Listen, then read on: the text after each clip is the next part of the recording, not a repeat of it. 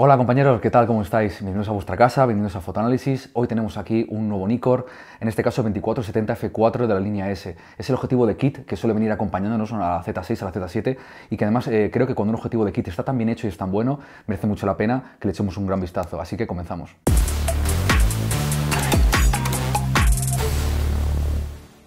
Este 2470 nos lleva acompañando eh, muchísimo tiempo en nuestra Z6, la verdad que es un objetivo en el que estamos muy contentos, creo que es un objetivo eh, muy completo y que cuando un objetivo de kit se hace tan bien, realmente merece muchísimo la pena que permanezca en la mochila con nosotros. Eh, hay que decir que este 2470 fue uno de los primeros objetivos que se lanzaron con la Nikon Z, es decir, para la nueva montura de mirrorless y la verdad que creo que son los objetivos más interesantes que podemos acompañar, sobre todo si desembarcamos por primera vez en Nikon. Y como suele ser habitual en ese tipo de objetivos de kit, cuando los compramos de forma individual hay que pagar mucho por ellos y en este caso el Nikon 2470 se acerca a los 1000 euros. Pero sí es cierto que tenemos que pagar solamente unos 500-600 euros extras si lo compramos con un cuerpo de la Z6, Z6 o Z7. Es decir, esto es muy útil siempre y cuando aterricéis en Nikon o queréis comprar un nuevo eh, cuerpo de cámara de Nikon. Eh, de hecho, aquí abajo os vamos a dejar unos enlaces de compra para que podáis conseguir eh, los cuerpos de la Z6 y la Z7 al mejor precio disponible. En su interior nos encontramos con un eh, diseño óptico bastante complejo y bastante amplio. tenemos 14 elementos en 11 grupos con dos lentes SD y tres lentes esféricas. También la calidad de construcción es muy buena, es un objetivo que está eh, muy bien construido, se siente que va a durar durante muchísimo tiempo. De hecho, nosotros lo tenemos desde hace un año y la verdad que el objetivo está intacto como el primer día. Y también deciros que además es, eh, incorpora una eh, protección contra la intemperie, contra la lluvia y contra el polvo, lo cual esto es casi obligatorio ¿no? en un objetivo de este rango de precios. Y además que se agradece muchísimo con los cuerpos de full frame de Nikon. En la parte delantera tenemos un filtro de 72 milímetros y un revestimiento de flúor ¿no? para poder evitar bueno, pues la mancha de suciedad, la grasa y la lluvia. Y además también tenemos un botón, solo un botón único para poder activar y desactivar el enfoque manual del objetivo. El enfoque de este objetivo también me parece muy bueno, eh, muy bien desarrollado y que funciona muy bien. De hecho, creo que está por encima de lo que son capaces de hacer actualmente las, Nikon. Es decir, que a futuro cualquier tipo de corrección, eh, firmware o bueno, cualquier tipo de, cámara que vaya saliendo nueva de Nikon, eh, creo que va a estar a la altura ¿no? de, este objetivo. Así que la verdad que es un objetivo que creo que tiene mucho recorrido y que está muy bien construido en cuanto a, calidad del objetivo y también, por supuesto, al enfoque. De hecho, nosotros, para el tipo de fotografía que realizamos, no hemos tenido ningún tipo de problema. Enfoca muy bien, enfoca casi siempre al primer uso y excepto a no ser que caiga muchísimo la luz, no vamos a perder eh, casi nunca el foco. Y ya metiéndonos de lleno en la calidad de imagen, ¿no? lo que es capaz de ofrecernos este eh, Nikon 2470, vamos a empezar por las aberraciones cromáticas.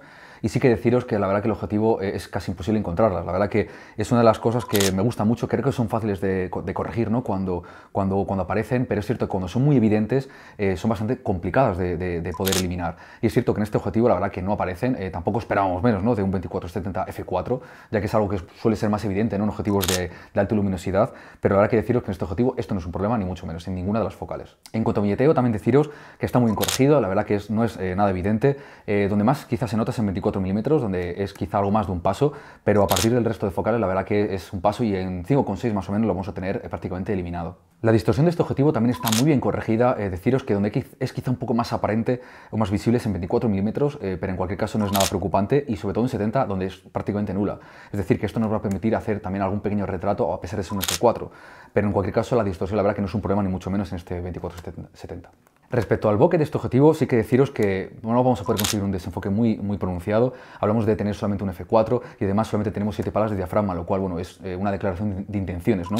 En otros objetivos que hemos visto de otras marcas, incluso de Nikon, tienen hasta 9, 10 y 11 eh, palas, lo cual eso significa que está mucho más pensado para crear desenfoques eh, bonitos. Pero cuando los hace, los hace generalmente bien. Así que en este sentido hablaremos que está un poco en la media ¿no? de este tipo de objetivos. Y directamente en cuanto a la nitidez del objetivo, es quizá el punto por el que más importante o más quiero destacar este 2470, ya que creo que ofrece una nitidez muy buena en todo el cuadro, en todo el rango focal y en todas las focales. La verdad que creo que es un objetivo que está pensado para poder extraer muchísima nitidez, tanto en el centro como en las esquinas, en general del objetivo. Es cierto que vamos a poder encontrar una nitidez eh, muy buena, muy alta, donde el objetivo destaca muchísimo, que es el 24 milímetros.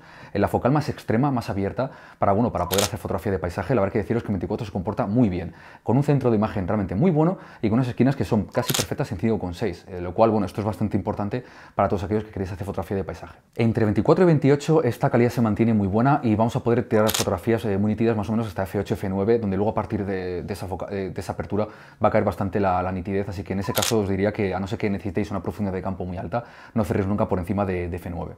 En las focales intermedias entre 35 y 50, eh, la verdad que el centro se mantiene perfecto, es un centro muy nítido y que prácticamente es inapreciable la diferencia entre F4 y F8. La verdad que eh, deciros que eh, si queréis disparar directamente F4 podéis hacerlo para poder también resaltar un poco, ¿no? crear un poco más de, boca en vuestra imagen y deciros que no os tenéis que comprometer con la, calidad de imagen porque la nitidez es asombrosa. La verdad que F4 se comporta muy bien en todo tipo de, focales. Aunque sí es cierto que las esquinas me parece que caen un poquito más respecto a 24 y es un poquitín menos nítida, lo cual sí que os diría que subieseis un poquito más a F6.3, F7.1 para encontrar una calidad muy estable y muy completa en todo el marco. Y en la última focal, en 70 milímetros, eh, pasa más o menos un poco lo contrario que en 24. Es decir, eh, tenemos un F4 un pelín más eh, suave, que tenemos que quizá cerrar a 5,6 para encontrar una nitidez soberbia y de 10. Y sí que es cierto que se va a mantener un poquito más adelante, es decir, que vamos a poder disparar más o menos hasta F11, F, F13 para poder conseguir una nitidez realmente muy buena. Es decir, que este objetivo está muy pensado para disparar en aperturas abiertas, los focales más, más, más angulares, entre 24 y 28, y para disparar un poquito más cerrado las focales finales. Pero en cualquier caso, hablamos de una calidad realmente muy buena en todo el cuadro. La verdad que esto convierte ¿no? a este objetivo de zoom eh, de kit de Nikon realmente muy bueno, muy completo y en el que no tenemos que preocuparnos por la calidad en ningún momento, porque nos va a ofrecer muy buena nitidez casi en todo el marco. De hecho, creo que es uno de los objetivos de kit eh, mejor preparados para Nikon, eh, de los mejores acompañantes que vamos a poder tener, porque hablamos de un objetivo que es ligero, que es pequeño, que no es muy grande, que queda perfectamente compensado con los grupos de Nikon, con su grip, y la verdad que es un objetivo que vale absolutamente para todo, incluso también para fotografía profesional.